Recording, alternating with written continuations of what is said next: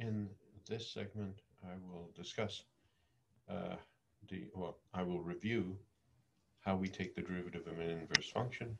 You'll recall that this was uh, a result of the, uh, the chain rule and implicit differentiation.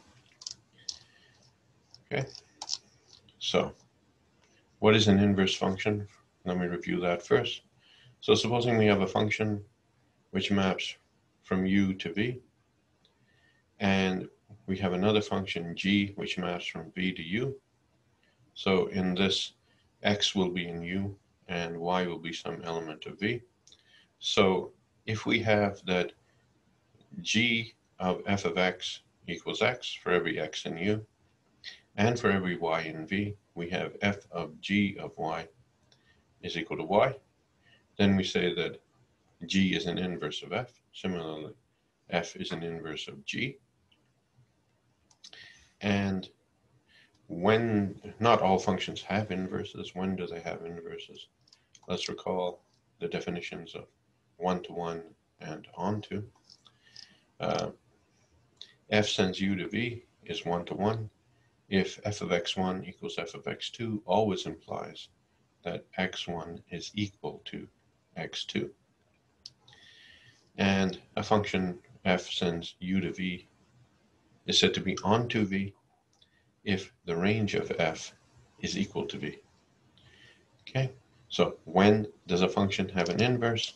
A function has an inverse if and only if f is both one-to-one and onto. Okay, now I review the derivative of an inverse function. Suppose that f sends u to v has an inverse, g sends v to u. Note that g is acting in the opposite direction. And by the definition of inverse functions, then we have g of f of x, I'm going to call f of x y. g of f of x is equal to x for every x in u. Then the chain rule says that the derivative of g with respect to y times the derivative of f with respect to x is equal to the derivative of x with respect to x, which is 1. Now I'm going to solve. I'm, I'm looking for the derivative of g with respect to y, so I'm going to solve for that by dividing. If the derivative of f with respect to x is not equal to 0, then the derivative of g with respect to y equals f of x is equal to 1 over the derivative of f with respect to x. Let's do an example. Uh, f sends reals to reals, defined by f of x equals x cubed plus x plus 1. I'll give you that it's invertible. I would like to know the derivative of g when its input y is equal to 3. Okay, so if we use our rule, the derivative of g with respect to y is equal to 1 over the derivative of f with respect to x. Now we need, we know what the y is. y is equal to 3.